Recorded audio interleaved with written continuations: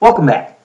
In this video, I'm going to introduce parallel lines and the angles that are associated with them. And we'll be exploring these relationships in future sections, so the vocabulary and these different types of angles, it will be important for you uh, to grasp this information and it'll make the other information easier moving forward. So we're going to start with some definitions. We're going to start with the definition of a plane and a plane is a two-dimensional figure with infinite length and width. So a line is just was a one-dimensional figure, was extended infinitely in opposite directions. A plane um, has both length and width now, and it has no thickness at all. So think of a plane as a like a piece of paper that just extends forever and ever and ever, has like no thickness whatsoever, um, but it extends infinitely in both directions. And if, like collinear, coplanar, coplanar are points, lines, and segments, and so forth that lie on the same plane. So lines can be coplanar, points can be coplanar, segments can be coplanar if they lie in the same plane. And then, of course, non-coplanar would be points, lines, and segments that do not lie in the same plane.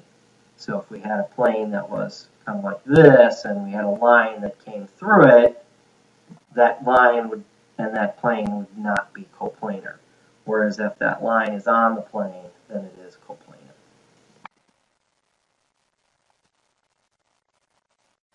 Transversal is a line that intersects two coplanar lines and two distinct points.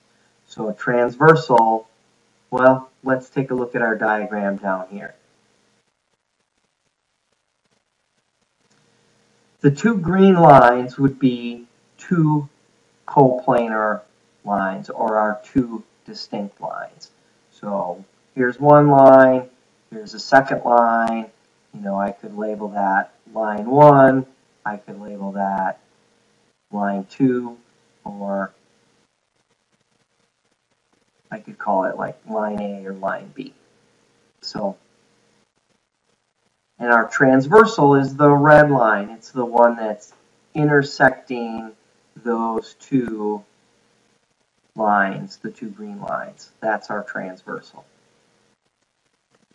And then when the transversal cuts those two lines, we end up with, each time we end up with these four different angles. And I've numbered the angles 1, 2, and then over here we've got 3 and 4, 5 and 6, and 7 and 8. So when we intersect line 1, we get angles 1, 2, 7, and 8.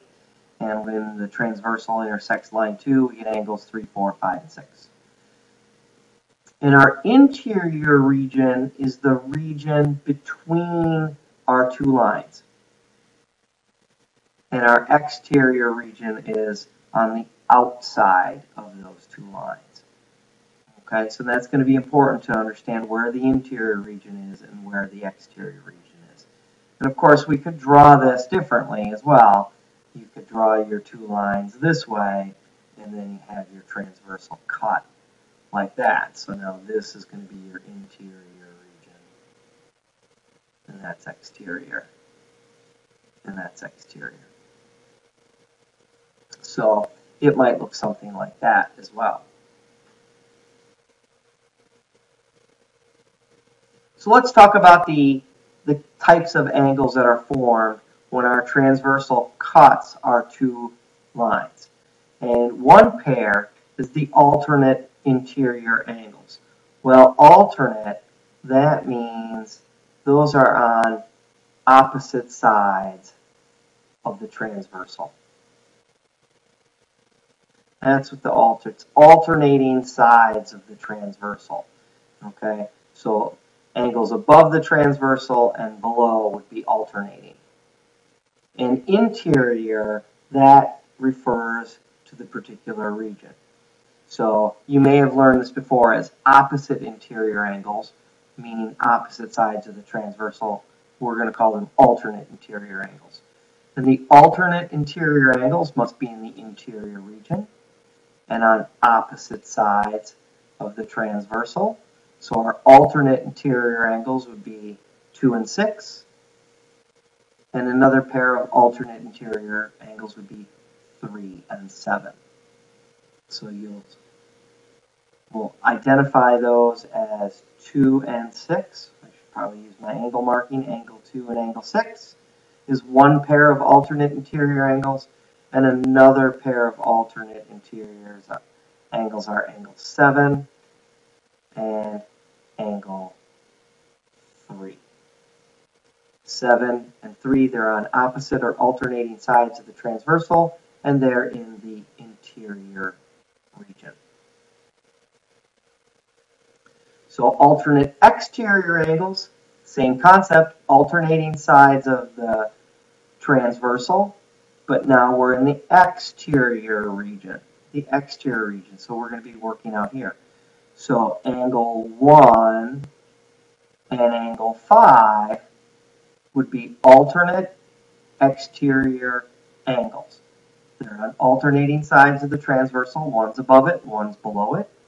And they're both in the exterior region. And then, of course, our other pair of alternate exteriors would be 8 and 4. So, angle 1 and angle 5 and the other pair would be angle 8 and angle 4. Those are alternate exterior angles.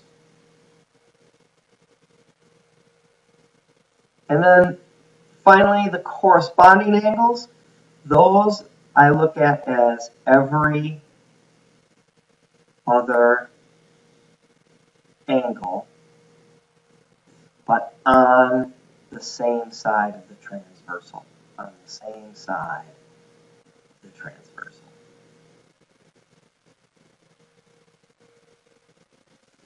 So every other angle, we've got a lot of them.